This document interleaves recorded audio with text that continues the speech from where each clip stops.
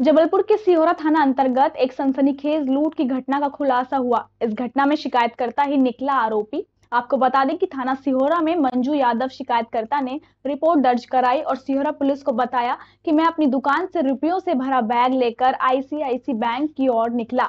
तब दो बाइक सवार लोगों ने आकर मेरे बाजू से गाड़ी को सटाकर कंधे में टंगे हुए बैग की बद्दी में पीछे बैठे बाइक सवार व्यक्ति ने चाकू मारकर पैसे से भरा बैग छीन कर ले गए।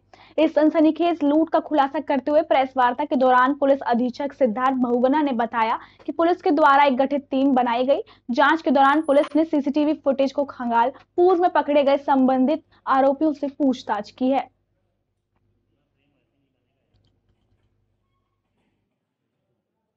अब इसका जो पर्दाफाश हो गया है, इसमें छह आरोपी हैं टोटल इसमें उल्लेखनीय बात यह है कि जो फरियादी थे, वही इसमें आरोपी हैं।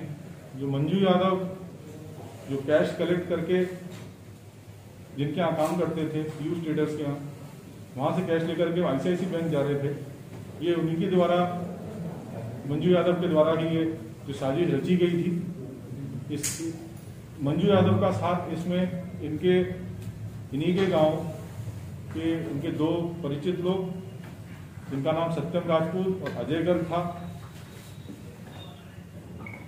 उनके साथ उन्होंने घटना कार्य की। कुल मिला के घटनाक्रम इस प्रकार का था कि जब ये वो कैश उस दिन चार तारीख को लेके निकले थे तो उन्होंने खुद ही सूचना, यानी कि मंजू यादव ने खुद सूचना ये चीज़ की सत्यम राजपूत को दी। सत्यम राजपूत और अजय गर्ग, ये दोनों मोटरसाइकिल से थे। उन्होंने इनका पीछा किया और फिर एक नाटकीय रूप से वो बैग छीना